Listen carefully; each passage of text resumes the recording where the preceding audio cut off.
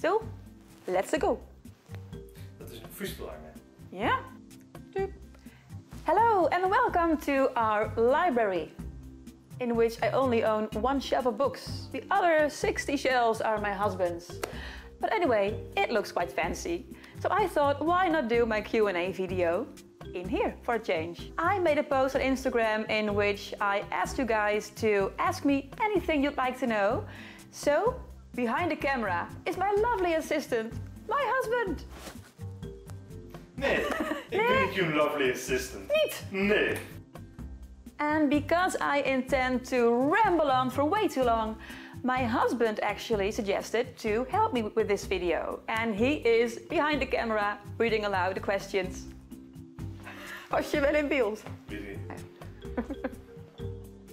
He will make sure that I won't be talking way too long, so I'll get this video done by the end of the day. How did you start playing and why? I actually always wanted to play the violin. I saw people playing on the streets, on the TV, and I really wanted to do, to do that myself. And I actually didn't think I could do it. And when I was married for a few years, at the age of 26, I applied for lessons at the music school here and I got started. What do you think was the hardest part of learning the violin? And the, hard, the, the hardest part for me um, has actually always been intonation and relaxing my left hand. And those things have improved a lot over time. It means practice, but it's still a bit tricky at times.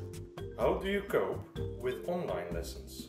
Um, because the Netherlands is in a lockdown now, that means I have my violin lessons through Skype nowadays, every week for 30 minutes.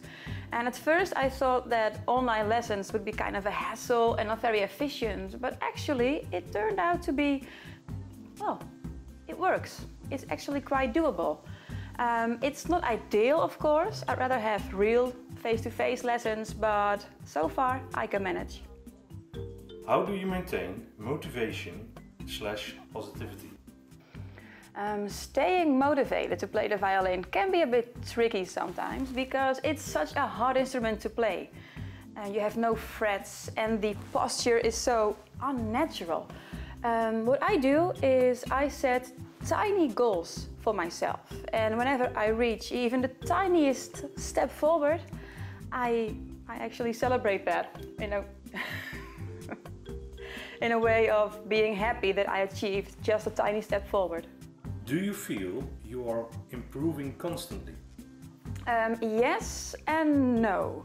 Um, in my first year, I was progressing immensely fast because everything was new to me. So everything I learned felt like a big step forward.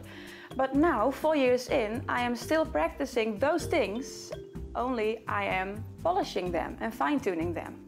So Yes, some things get easier because my technique gets better, but progress feels slower because I'm not doing that many new things. I'm working on things I already started. Have your goals with the violin changed? Actually, no. Ik zeg weer actually. Dat geeft niet. Okay. When I started to play the violin, I wanted to have fun with it, play with other people, and perform in a band. And I'm still doing all those things. I'm happy to play, I play with people, and I even joined the band, or maybe even two. So I'm happy and I still do that. Will you ever buy a new violin? Um, not anytime soon, but eventually I might upgrade my acoustic violin. I bought this violin last year and I think I can play on this one for at least the coming five to maybe 10 years, but then I might upgrade it. And I also would like to get a Viper violin one day. Do you still have the same teacher? No, I don't. I had my first teacher for four years, but he quit his job to be a school teacher full time, so now I have a new teacher. My new teacher is a woman my age, and that's actually quite funny. Did you ever participate in a music competition? Um, no, I haven't, and I'm actually not intending to do so either. I mean, some people do that to get scholarships for studying, but I'm a grown-ass woman now, so why should I want that? And uh, to be honest, recitals and performing makes me nervous enough. So competitions, nah, don't think so.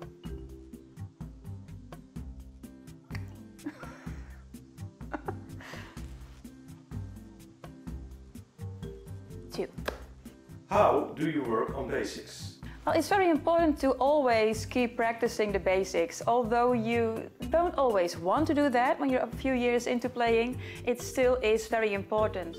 For example, I started to learn vibrato after one year of playing, but I'm still doing those basic exercises to get my vibrato more smooth and to get better at it.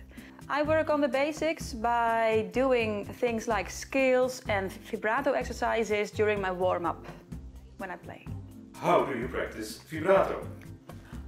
Vibrato. Stop it! Stop it! No!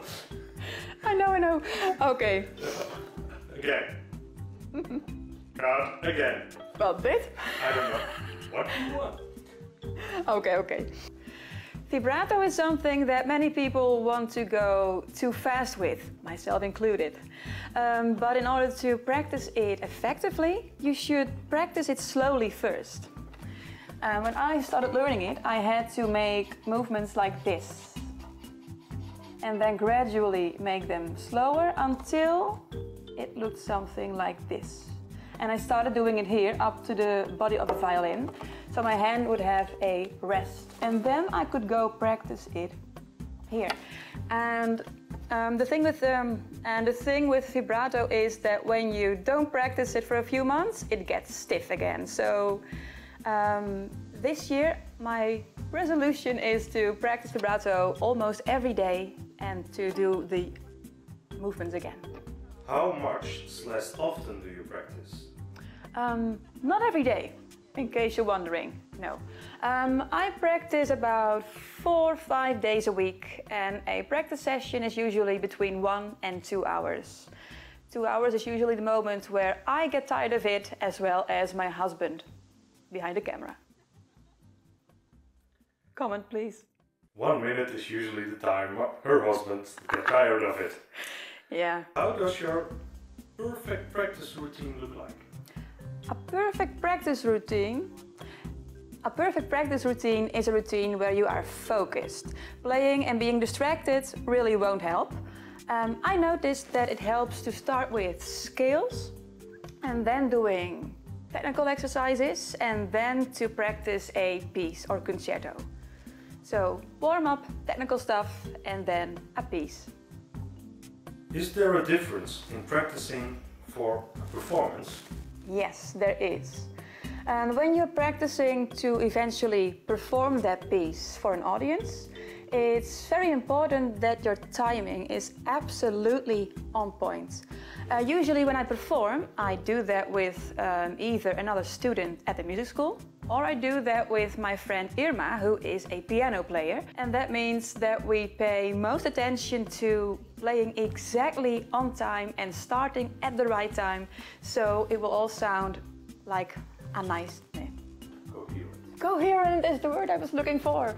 That also means that whenever there is a note that should last four beats, they really should last four beats. Otherwise, we get confused and it doesn't sound coherent. In short, timing. What piece are you currently practicing? Currently, I'm practicing two pieces. One is the Czardas by Monti, and the other one is the uh, double violin concerto by Bach. Are there specific pieces you play on your electric violin?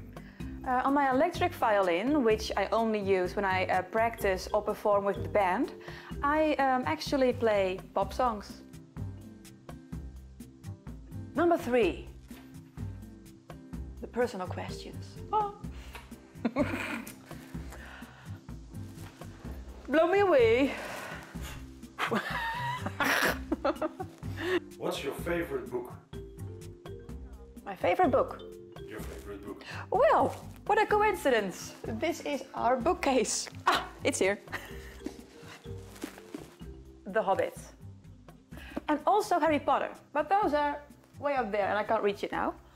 But my favorite book is The Hobbits. Which languages do you speak and which languages do you want to learn? I speak Dutch, obviously, and English. And also, I come from a town where everybody speaks a Dutch dialect. Not a language officially, but it still sounds weird enough to be a third language.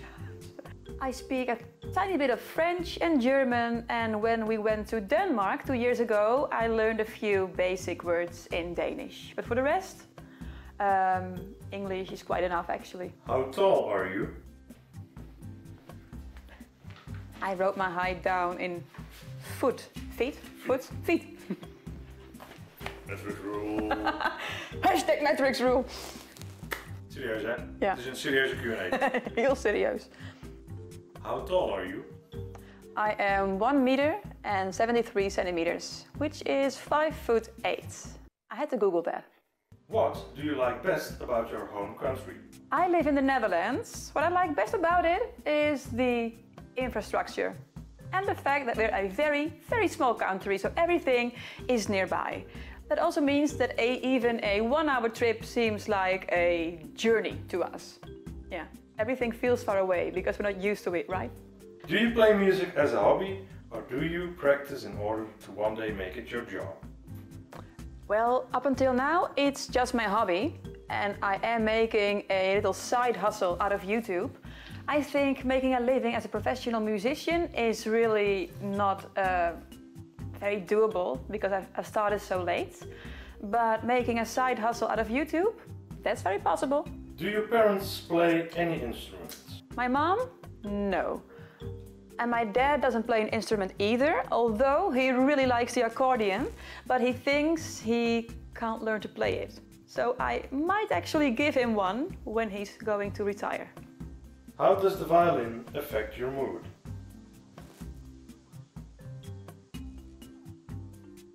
Do you like tormenting your husband with your playing? Do you like tormenting your husband with your playing? Ja. Die is leuk. so, that's it. Thank you for watching my Q&A video. I hope you enjoyed it. We sure had fun making it and had a good laugh about it. I hope to see you in the next video. Bye! That also means um, whenever the and that also means that when Whenever is not word. Words are hard. words are hard. Okay.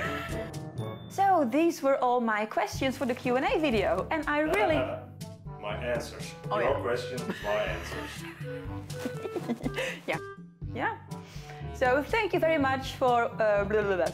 reveal yourself. Nee. Weet je hoe fout dat klinkt in Engels? Reveal yourself is ontbloot jezelf. Echt? Ja. Oh, Dat me. dat is alles. Oh. Kort genoeg?